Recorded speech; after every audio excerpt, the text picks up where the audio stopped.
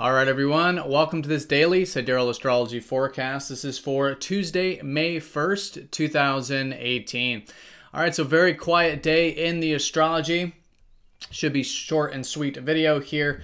Um, basically, what we have is the moon is in Libra uh, the first half of the day, shifting into Scorpio the later part. So, Libra, as it was the past day, basically on Monday, there was uh, more than likely themes around relating um, finding perhaps harmony and cooperation in relationships. Um, this type of thing, maybe even bringing some balance into our lives. But as the day does unfold, the moon does go into deep Scorpio. So uh, for the next couple days, more than likely themes about deeper feelings coming up, um, practicing things like vulnerability with ourself, with life, and with relationships. And of course, um, anything that we can empower ourselves through by facing any fears is always really good with the moon in Scorpio. So the moon will be trining Chiron. I think it's a great day for healing, and we are still coming off of this full moon from just last Sunday and Monday. So still definitely the heightened part of the lunar month. All right, so let's look at all of this here in more detail when we return.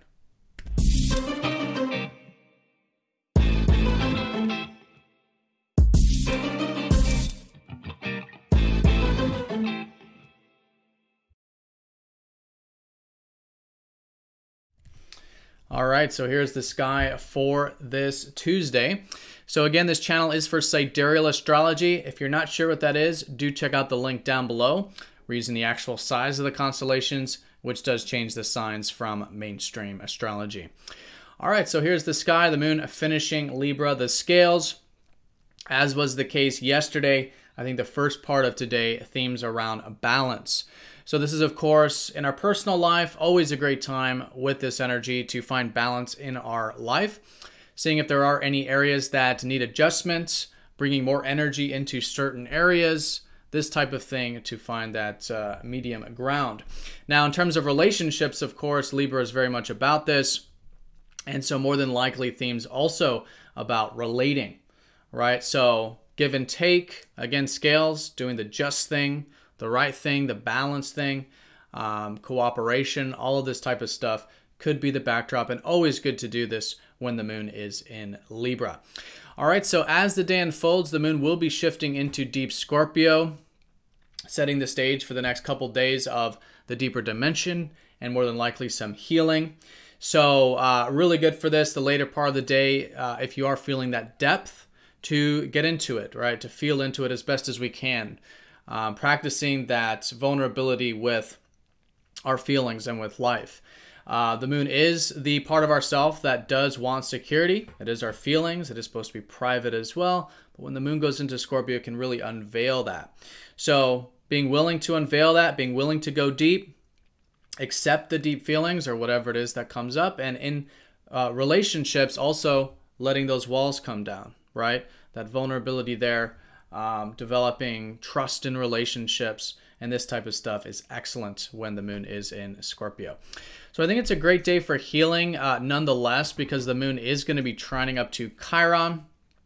Very much about this. It's not suggesting it necessarily will be a day of healing, but I think there's an opening to do so, and anything that does involve that can be great. This can, of course, be physical healing, right?